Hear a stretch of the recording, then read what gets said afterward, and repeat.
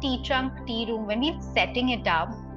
every single element here, right from the tables